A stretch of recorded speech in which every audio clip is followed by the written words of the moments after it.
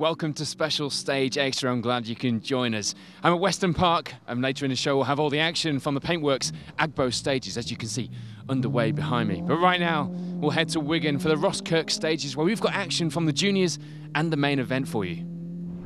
The Roskirk stages marks the start of the new Formula 1000 Junior Rally Championship season. Charlie Barlow and Tom Hutchings make an ideal start to the event, something which Charlie has struggled with previously, passing the midway point in the event in the lead. Zach Hughes and Chris Evans were the ones chasing them down, but not quite on their heels just yet. They lie second in the results and losing a small amount of time each stage. It will be a similar story though for Seb Perez and Philip Hall in third. They end stage four with six seconds to Hughes in front, but by four stages later, the pair would have a 21 second deficit. They would need to tidy things up for the remaining stages if they wanted anything more from this event.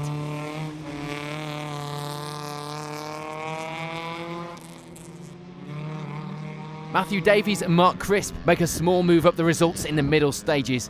They start the day in fifth, climbing a place to fourth by the end of stage eight, just nine seconds behind Perez. Ed Fossey and Sean Humphreys were another crew to gain a few places in the middle stages. They start the day in seventh, not helped with a spin on the opening stage on cold tyres. And they'd move up to fifth by the end of stage eight. Jersey based Fossey making the 900 mile round trip to be here this weekend. Tommy Meadows and Ian Oakey would also suffer from a spin early on in the event to put them in eighth after the morning stages. But the times were good on these clean stages and the pair climb up the results to sixth place for now. Finley Retson and Phil Sandham unfortunately lose a place in these stages. They start the day in sixth, but that soon changes into seventh by the end of the next few stages. Will Butler and Tom Wood unfortunately suffer a little more. They drop down from a fantastic fourth place start down into eighth place now, 15 seconds behind Retson. And for Conor O'Brien and Gareth Short, it will be a place gained. 10th to start the day and moving up to 9th after eight stages. Ed Fossey's 900 mile round trip from Jersey showed some dedication. But for Umberto Alcanero, competing on the championship this season meant flying in from Italy for each round. He and co driver Rob Gillam start the day off with 13th place, moving in to round out the top 10 going into the final stages of the day. So after eight stages of competition, the results for the juniors are looking like this.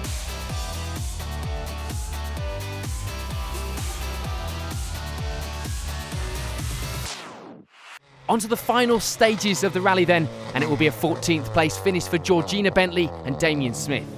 Kay Thompson and Martin Young have a steady run to finish the day in 13th after briefly holding 12th earlier in the rally. Tom Delaney and Joe Cruttenden were not having the best of luck in the afternoon stages.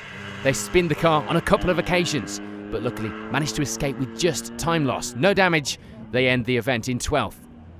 Tom Williams and Emma Morrison have a steady day getting used to the newly built car and set some promising times as well. They have a spin though and get stuck during the day, but an 11th place finish overall was good going. Jack Hartley and Martin Cressy, meanwhile, managed to gain some time in the final stages. They move up to round out our top 10. Not without its problems today, spinning the car, as a number of others had too. But a 10th place finish on his first event was a great start to the season for Jack. Connor O'Brien and Gareth Short are unable to gain any more time in these stages. They remain in that ninth place that they ended the last loop in. And Umberto Acanero and Rob Gillam's trip here this weekend was met with an eighth place finish. A good result considering the car was a last minute replacement for his own, after blowing the engine in testing in his original car the day prior to the rally. Will Butler and Tom Wood managed a place gained in the final stages to take home seventh place at round one. Tommy Meadows and Ian Oakey, meanwhile, overcome the earlier loss of time with a spin and keep setting some good times through the day to finish the event in sixth place. Ed Fossey and Sean Humphreys make their trip here worthwhile as they take away fifth in the opening round. Ed, one of many to benefit from having previous champion and current works driver Chris Ingram along to give advice at this weekend's event. There wouldn't be much change at the top of the results, with Matthew Davies and Mark Crisp finishing the event in that fourth place that they took earlier in the day. A good result for the pair, just one minute off the leaders. For Seb Perez and Philip Hall, it would end up being a close finish. They finished the event in third, but only just. The tiebreak on times mean they end the day on identical times to Davies, but win based on their performance in the opening stage. Zach Hughes and Chris Evans have a great weekend and a good start to the season as well, taking second place here at the first round. The pace was there all day, missing out by 30 seconds in the end. Which means that it's a win for Charlie Barlow and Tom Hutchings. A recent test obviously paying off for Charlie. The pair led the event from the start, but there were a handful of drivers this weekend looking capable of victory. So this season was looking competitive even at this first round. So at the end of the junior rally here at the Roskirk stages, here's a reminder of the final results.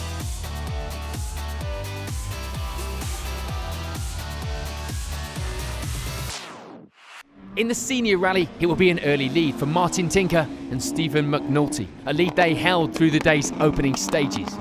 Stewart and Louise Gilks would settle into an early second, 19 seconds off the lead after stage 4, but gaining a few seconds back on the next few stages to lie just 13 seconds down after 8 stages. Things will be nice and close for Howard Potter and Martin Haggett. They lie just a single second behind Gilks at this stage, leading the way in Class 3 too. Julian Jones and Mickey Herritz make a steady start to the event in fourth place, just seven seconds back from that crew ahead. Mike English and Andy Robinson unfortunately lose some time in the afternoon stages as they start the day off in third, only to drop to fifth by the end of stage eight. And it was a move the right way for Keith Douthwaite and Tony King, moving just a small amount from seventh into sixth place, leading the way in Class 5 at this stage. Barry Thompson and Jerry Hetrick make a similar move up the results from 8th into 7th, the pair lying second in Class 3 at the moment. And Kevin Jones and Rosalind Goodall start the day 11th after stage 4, and with some good times, the pair are able to gain a few places to move inside our top 10 now into 8th overall. There wouldn't be any such luck for Robert Hughes and Kevin Butler though, they start off well in 5th, but over the next few stages that would soon turn into 9th. And rounding out the top 10 were Nick and Heather Stamper, the pair lying second in Class 5 and 10th overall after climbing a few places in the second loop of stages. In a few of the classes outside the top 10, it would be the Class 2 lead for Ben Bloor and Alistair Hughes, but they would only have a one second lead in that class. And in Class 1, it will be Phil and Katie Sargent who come out on top at this stage. So a third of the way through this rally, the results are looking like this.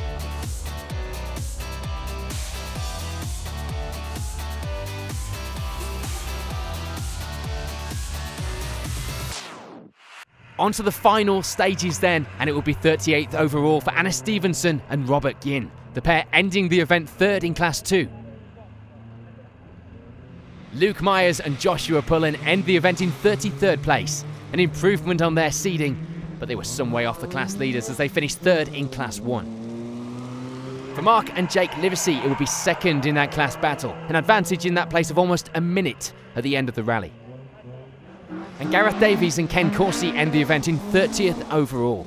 Their Road Rally spec car not really able to compete with the more expensive cars in the class, but that didn't stop them having some fun, taking budget rallying to the extreme this weekend by actually driving the car 80 miles each way to and from the rally.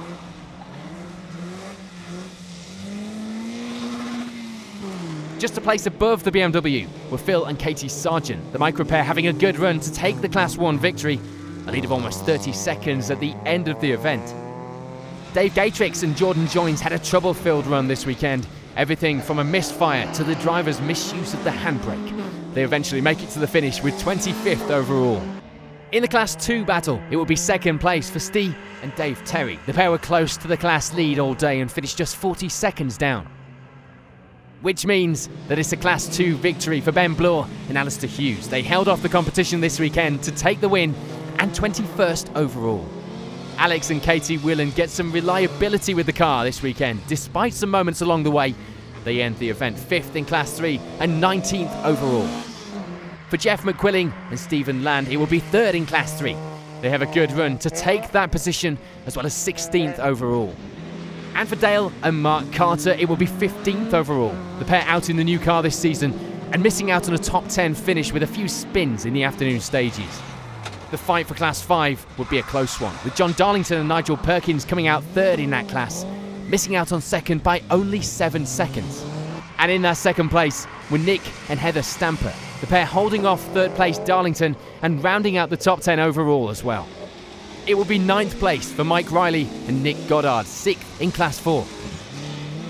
And for Barry Thompson and Jerry Hetrick, it will be the runner-up position in the Class 3 battle, eighth on the leaderboard. Robert Hughes and Kevin Butler finished fifth in the well-represented Class 4 battle, taking the focus to seventh overall in the process. And there'll be no change for Keith Douthwaite and Tony King. They continue their run to lie in sixth overall, taking the Class 5 win. Sadly, it's a place lost in these final stages for Julian Jones and Mickey Herritz as they drop down to take fifth at the end of the event. And for Mike English and Andy Robinson, it will be a place gained, moving up to fourth and taking third in the Class 4 fight. Onto the podium places then, and there will be a small amount of change as Stuart and Louise Gilks lose a place in these stages, dropping down to round off our podium in third. Their move down the results was to the benefit, though, of Howard Potter and Martin Haggett. They move up into second and, of course, take the Class 3 win here today. So that means that it's the victory for Martin Tinker and Stephen McNulty. A lead they'd held all day and a win of just 21 seconds at the end of the event. So here's a reminder of the overall results. Stay tuned next here at Special Stage Extra for all the action from the Agbo stages.